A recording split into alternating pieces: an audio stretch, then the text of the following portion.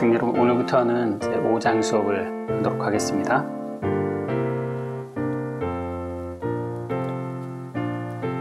5장은 앞에서 4장까지 우리가 이제 static 어, electrostatic 문제들을 이제 풀어왔는데 5장에서는 자기장에 대한 이제 소개를 드리려고 하고요.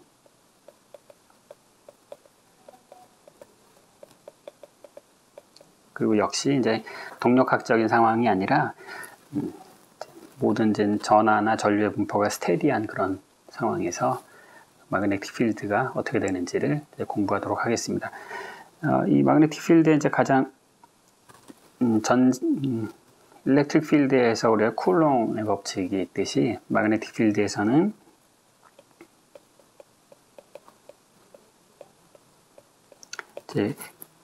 비오 사바르의 법칙이 있죠. 비오 사바르의 법칙이란 건 뭐냐면은 자, 이 magnetic field는 current에 의해서 유도가 되는 거죠. 어떤 전류가 있으면 어떤 회로를 따라서 전류 I라고 하는 이런 커런트가 I1이라는 커런트 흐른다고 생각을 해봅시다. 그러면은 이제 이 current에 의해서 current에서 내가 뭐 여기를 뭐 임의의 원점이라고 생각해 볼까요? 그러면 어, 원점에서 이제 R만큼 떨어져 있는 이곳에서의 어, magnetic field가 어떻게 될 것인가? 그 magnetic field는 이 current의 path를 다 쫓아다니면서 이 current loop의 position을 내가 이제 R1이라고 했, 했을 때 이제 R1이 모든 이제 current의 segment에 대해서 예, 뭔가를 다 더하는 거죠. 제가 더하는 게 바로 제 비오 사바르 법칙이 되겠습니다. 자, 얘는 이제 이런 이제 amplitude는 current에 비례하고 그 다음에 그 1번 current loop에 대해서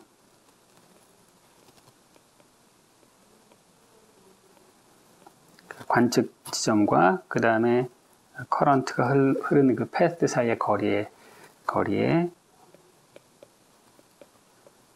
이제 제곱에 반비례하는. 여기 분모에 3승이 있지만 이제 분자에 또 R이 있기 때문에 거리에 제곱에 반비례하는 어, 그런 모든 contribution을 다 한 바퀴 둘러오면 그걸 모아놓으면 그게 이제 어, 이 지점에서의 이 지점에서 이제 B 필드가 되는 것이고 자, 우리가 이제 흔히 여, 기서 이제 electric field와는 달리 여기에 이 cross product가 있기 때문에 이제 magnetic field나 이제 그것과 관련된 현상을 공부하는 게좀 그 수학적으로 복잡해지죠. vector product가 있기 때문에 이제 이걸 우리가 그 일상의 용어에서는 이제 오른손 법칙이라고 얘기를 하죠. 그래서 음, current가 이제 이쪽 방향으로 흐르고 있다. 이 방향이 current의 방향이다. 그 다음에 어, 내가 이제 current 방향이고 음,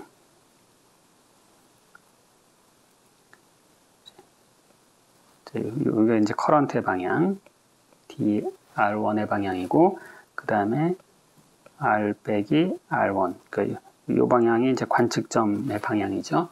자, 그 그럼 요, 요 방향에서의 magnetic field는 DR cross 상대 displacement니까 magnetic field는 어느 방향이 되는 거예요? 이제 요 방향이 되는 거죠. 요 방향, 요 방인데 여기에도 수직이고 여기에도 수직이고 그래서 흔히 얘기하는 게 이제 오른손의 법칙으로 표시하는 게 어, 손가락의 방향, 손의 방향을 current의 방향으로 하고 그 다음에 이제 관측 지점으로 말았을 때 음, 엄지 손가락이 가리키는 방향이 이제 magnetic field가 되는 거고 그걸 모든 segment에 대해서 다 이제 합하는 합하면 되겠죠.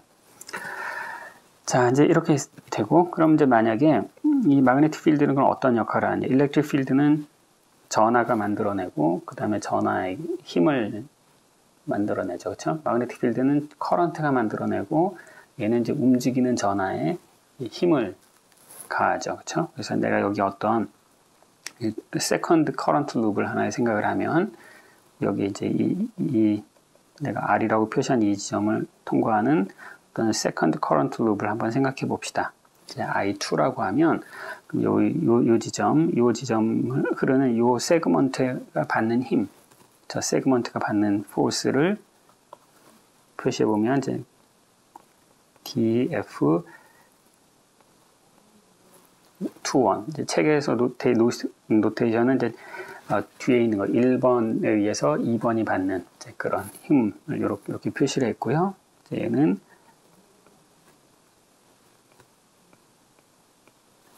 자, 여기 이렇게 되고 그다음 크로스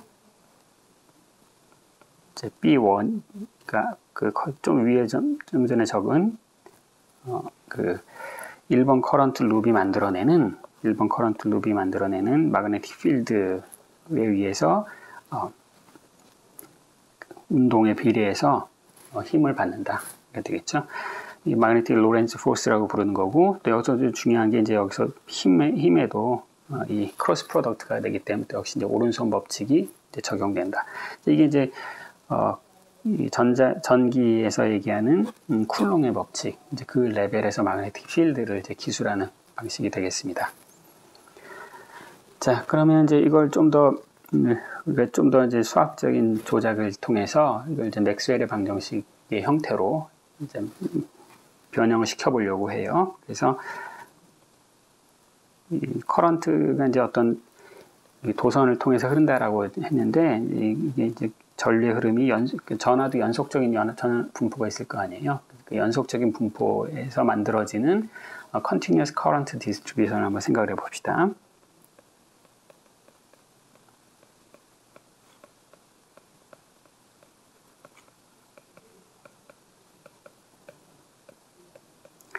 자, 이건 뭐냐면 이제 우리 current 이제 이 continuous current distribution이라는 건 뭐냐면 여기 이제 어떤 전하들이 이렇게 있습니다. 전하들이 이렇게 공간에 연속적으로 분포 이렇게 점점 있는 것이 아니라 연속적으로 분포하고 있을 때 얘네들이 전체적으로 이렇게 움직일 수가 있겠죠. 그렇죠? 그러면 어, 그것이 이 전하 density의 흐름을 만들고 있기 때문에 물론 이제 각 지점마다 음, 이 각 지점마다 전하 밀도도 다를 거고, 그다음 각 지점마다 얘네들이 이제 움직이는 속도가 다 다를 텐데, 속도가 다 다를 텐데, 우리가 이제 current density라고 하는 것을 이용해서 이것을 기술할 수 있는데, 이 current density는 그 지점에서의 전하 밀도에다가 그 지점에서 평균 속도를 곱한 이것을 우리가 current density라고 얘기를 해요. current density 이제 단위를 보면 어떻게 되냐면은 어, 전하 나누기 부피 그 다음에 예, 속도가 곱해져 있으니까 길이 나누기 시간이잖아요. 그렇죠? 그 분모 부피가 있고 여기 거리가 있으니까 전체 단위는 뭐냐면은 전하량 나누기 면적 나누기 시간이 되겠죠. 그래서 그래서 이게 뭐 어떤 얘기가 되냐면 어떤 이제 단위 면적이 이렇게 있을 때 어떤 표면이 있을 때 그 이 표면을 단위 시간당 뚫고 지나가는 그런 전하의 양, 단위 시간당 단위 면적당. 이제 flux라고 부르는 양과 밀접하게 관련이 있겠죠. 그렇죠?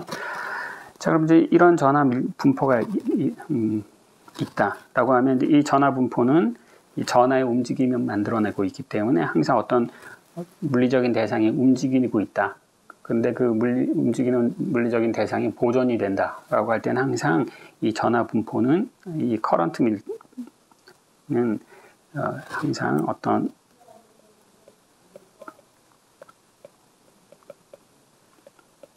continuity equation을 만족해서 전하가 보존된다라고 하는 거. 그러니까 움직이 움직이는데 움직일 수는 있지만 이 전하가 사라지거나 생성이 되면 안 된다. 이제 그걸 수학적으로 표현하는 관계식을 continuity equation이라고 부르고 그 continuity equation은 어떻게 표시되냐면은 round t round 전하 밀도 더하기 자 요거죠. 요. 말로 말로 하자면 divergence가 뭐였습니까? divergence는 어떤 점을 바깥으로 이렇게 나가는 거죠. 나가는 그 양을 측정하는 게 divergence야. 그러면 current가 바깥으로 나갔어요. 그럼 요 가운데 지점에서 current density가 나간 만큼 줄어들어야 되겠죠. 그렇죠? 그걸 표시하는 게 바로 어, 요 식이에요. 정확히 나간 만큼 줄어든다. 혹은 들어온 만큼 늘어난다.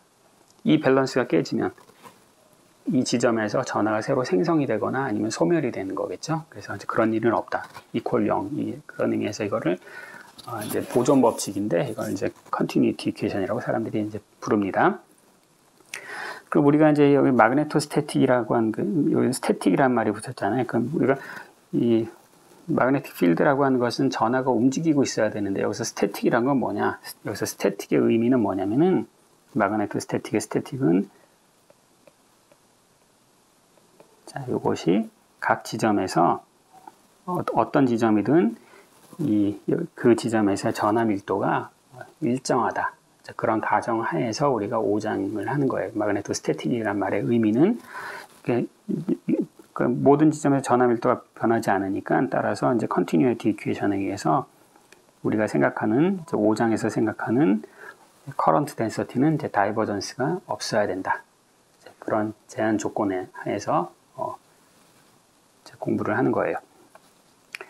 자, 그럼 이제 우리가 그 좀 전에 했던 비오 사바르 법칙을 어, continuous distribution으로 이제 확장을 하면 continuous distribution으로 확장하는 방법은 뭐냐면은 아까 이제 current 곱하기 d 이게 있었잖아요. 얘를 뭐, 뭐로 바꿔주면 되겠습니까? 얘가 그냥 current 곱하기 이제 V가 아니라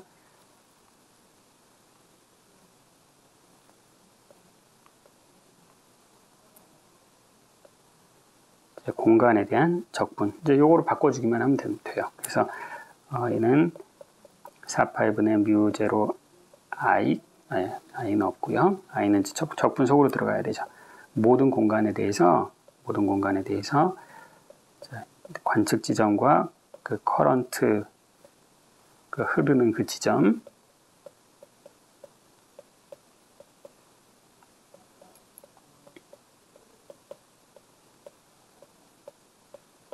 이제 요 적분을 해주면 되겠죠. 이건 그냥 앞에 썼던 비오사바르 법칙을 연속적인 것으로 이제 확장을 한 거예요. 자, 이제 이 모양을 조금 이제 변형을 해볼 텐데요.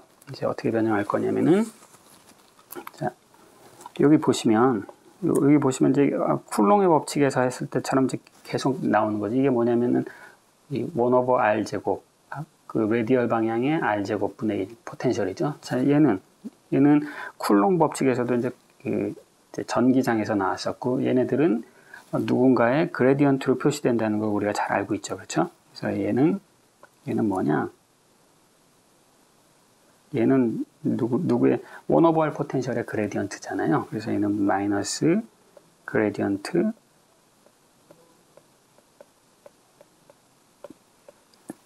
자 이렇게 되고 뭐 원하면 내가 내가 지금 gradient인데 R에 대한 gradient를 취할 수도 있고 R 프라임에 대한 그레디언트도 취할 수 있는데 내가 만약 R 프라임에 대한 그레디언트 취한다 그러면 이제 부호만 바뀌는 거니까 그냥 뭐 이렇게 되겠죠. 그렇죠? 지금 내가 요걸 요걸 적용해 봅시다. 이걸 적용해 보면은 이 적분은 R prime에 대한 적분인데 이 gradient는 R에 대한 gradient잖아요. 그러니까 이 R에 대한 gradient가 적분 바깥으로 나갈 수가 있겠네요. 나가면은 나가면 얘는 4파이 뮤 제로 gradient가 바깥으로 나가고요.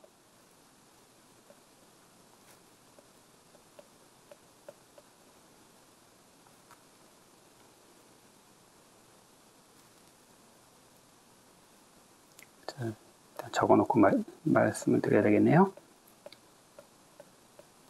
자, 이렇게 썼어요.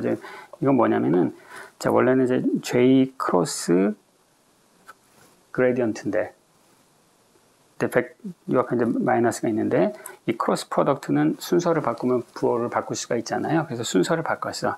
J하고 gradient의 순서를 바꿔서 어, 여기 마이너스 부호를 하나 없앴고요. 그리고 앞에 여기 크로스가 빠졌네요. 그래서 적분을 통해서 벡터를 다 만들어 놓고 그것에 이제 컬을 계산을 하면 되는 거죠. 그렇죠? 따라서 지금 이제 우리가 비오 사바르 법칙에 의해서 우리가 이 비필드를 적어봤더니 비필드는 어떤 형태가 되느냐 누군가의 어떤 벡터 필드의 어, 컬로 표시할 수가 있네요. 그렇죠? 그래서 따라서 자 얘는 얘는 누군가의 컬로 표시할 수 있고 이때 요 A라고 하는 것은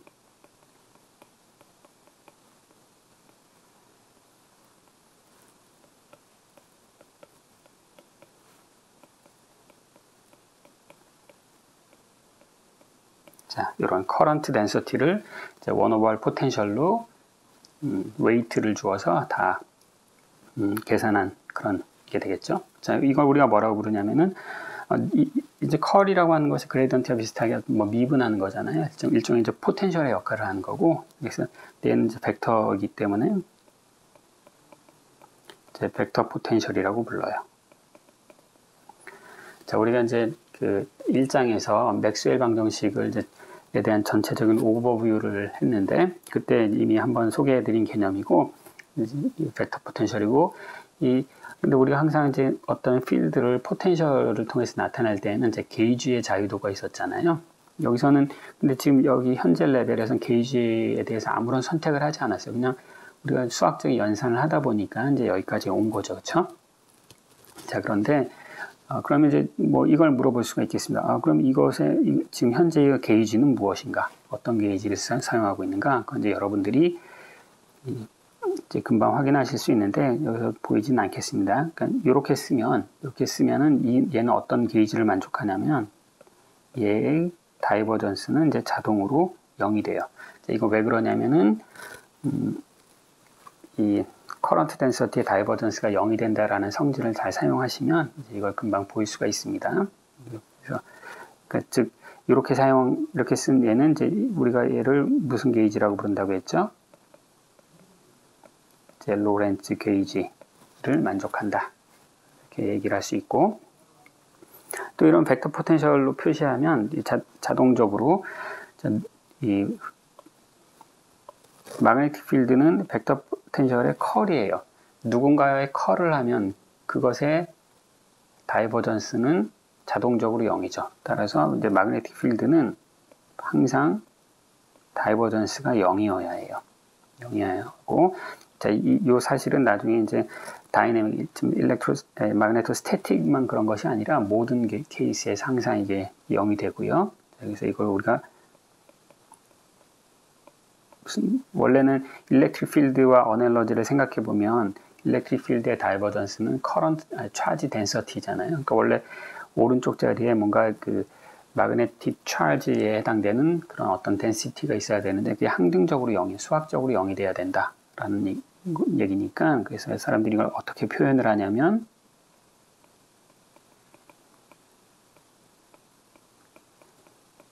그 자기장의 성질을 갖는 어떤 최소 어떤 기본 단위, 그걸 모노폴이라고 부를 텐데 이제 그런 모노폴 차지가 없다. 그것을 어, 표현해주고 있습니다. 그래서 어, 자 이제 여기까지 이제 포멀한 거고 그럼 실제 실제 내가 요 요 표현을 가지고 요 표현을 가지고 magnetic field를 한번 계산을 해볼게요. magnetic field 계산 게 아니라 이제 magnetic field는 원래 알고 있었고 이걸 가지고 자, B 필드는 이제 그 divergence는 0이고 그 B 필드에 대한 미분 방정식을 유도하고 싶은 거예요. 그럼 divergence는 0이 알았으니까 그 다음에 이제 curl을 알아야 되겠죠. 이제 그러면 이제 요, 요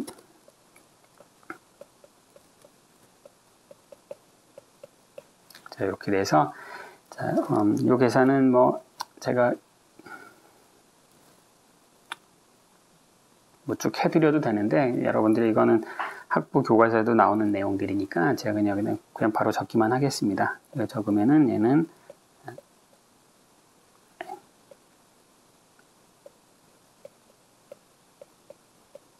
자, current density에 어, 그 곱하기 이 뮤 제로.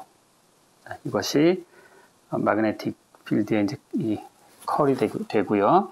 자, 제가 유도는 안 했지만 뭐 이건 그렇게 큰 어려운 게 아니기 때문에 그냥 말씀만 드리고요.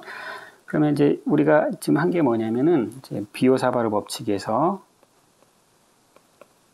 자, 이건 마그네틱 필드가 이거다라는 거예요. 커런트가 있으면 이제 계산을 하는 거야. 근데 이제 이 여기에서 출발을 해서 마그네틱 필드가 만족하는 미분 방 정식을 유도를 했어요. 마그네틱 필드가 만족하는 미분 방 정식은 뭐냐? 0이고 컬은 자, 요거 요거예요. 항상 이제 전기 문제랑 같이 analogy를 생각해서 하시면 이제 편하고요. 자, 그럼 이제 내가 이 미분 방정식을 풀어야 되겠죠. 그럼 이제 말을 바꾸면 전기장으로 얘기하면은 전기장의 divergence는 current density다.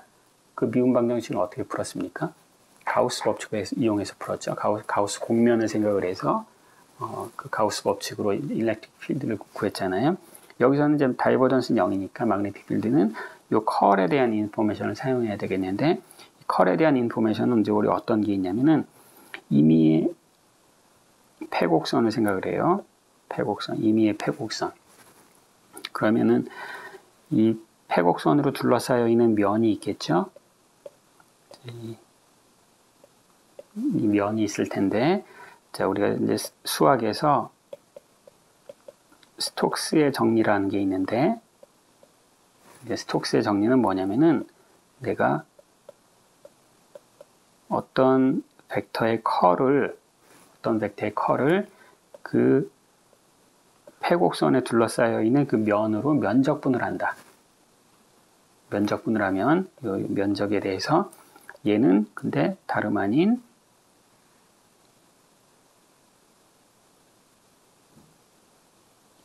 얘는 다름 아닌 뭐냐면은 그 elect 그, 그 field를 그 폐곡선을 따라서 한 바퀴 삥 돌아서 적분한 것과 똑같다.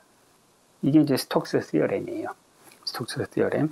diver 여기 이제 divergence theorem이랑 비교를 해보면 divergence theorem은 이제 폐곡선이 아니라 폐곡면이 있어야 되는 거죠. 폐곡면. 그 이 안에 이제 부피가 있어요. 그렇죠? 그러면 이제 divergence theorem은 뭐냐면 어떤 것의 divergence를 그 부피에 대해서 다 적분한다라고 하는 것은 이제 그 벡터를 면, 면으로 면적분을 해라. 폐곡선 면에 대해서. 이게 divergence theorem이죠. 이제 요, 요거랑 비교가 되는데, 이제 이거, 이걸 우리 물리에서는 응용을 해서 Gauss law라고 부르잖아요. 이제 이 Stokes theorem을 여기다 대입을 하는 거예요. 적용을 하는 거예요. 적용을 하면 어떻게 됩니까? 적용을 하면은 이제 요, 요, 요 Stokes theorem이 magnetic field에 대해서 어떻게 표, 현이 되냐면은 magnetic field를 어떤 임의의 폐곡선으로 한 바퀴 둘러싸요. 이걸 우리가 magnetic flux라고 부르죠. 그 이 면을 아니, sorry. 그냥 아무튼 이 선적분이에요. 그 선적분을 하면 그게 뭐가 된다? 그 선으로 둘러싸여 있는 그 면을 뚫고 지나가는